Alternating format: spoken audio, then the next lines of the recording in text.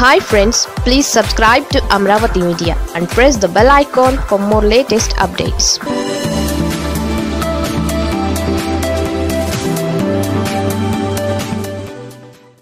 చంద్రబాబును అడ్డంగా ఇరికించేసిన గంట.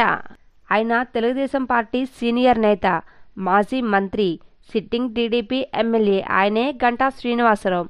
ఆయన తాజాగా చేసిన కొన్ని కామెంట్స్ ఇప్పుడు మంట పుట్టిస్తున్నాయి. అదే టైంలో ఉత్తరాంధ్రలో టీడీపీకి ఊపిరి ఊదాలని నానా తంటాలు పడుతున్న చంద్రబాబుకు ఇబ్బందికరంగా మారుతున్నాయని అంటున్నారు. ఇంతకీ గంట అన్నారని ప్రచారంలో ఉన్న కామెంట్స్ ఏంటి అని చూస్తే అవి ఏపీలో కాపులను ఇబ్బంది పెట్టేవిగా ఉన్నాయని అంటున్నారు. గంట తాజాగా కాపుల్లో ఐక్యత లేదంటూ కామెంట్స్ చేశారని విశాఖ కాపునాడు ప్రెసిడెంట్ తోట రాజు విమర్శించారు. కాపులను తన రాజకీయం కోసం గంటా వాడుకున్నారని ఆయన దుయ్యబెట్టారు. కాపులతో ఐక్యత లేకపోతే గంటా నాలుగు సార్లు ఎమ్మెల్యేగా ఎలా గెలిచారో అని ఆయన ప్రశ్నించారు.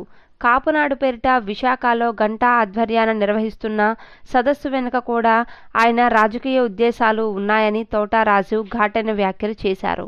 కాపునాడు పెద్దలకు టీడీపీ వైసీపీ జనసేన టికెట్లు ఇప్పిస్తాను అని చెప్పిన గంట వారిని తనతో తిప్పుకుంటున్నారని రాజీవ్ హాట్ కామెంట్స్ చేశారు.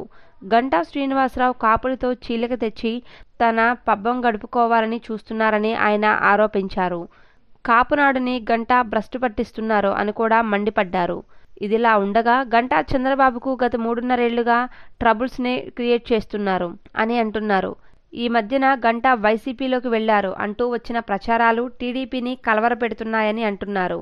దాంతో నేరుగా చంద్రబాబు రంగంలోకి దిగి ఆయన్ని బుజ్జగించారు అంటున్నారు. ఇప్పుడు గంటా కాపు కార్డు వాడుతున్నారని అంటున్నారు.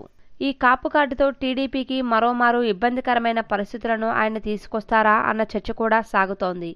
కాపులలో ఐక్యత లేదని గంట ఎవరిని ఉద్దేశించి అన్నారో ఏ సందర్భంలో అన్నారో తెలియదు కానీ కాపునాడు నాయకులు మాత్రం మండిపడుతున్నారు. ఉత్తరాంధ్ర జిల్లాలలో కాపులు ఎక్కువగా ఉన్నారు. చంద్రబాబు తన తాజా టూర్లో వారిని ప్రసన్నం చేసుకున్నారు.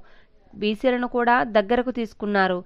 తాను అధికారంలోకి వస్తే అందరికీ మేలు చేస్తాను అని బాబు చెబుతున్నారు.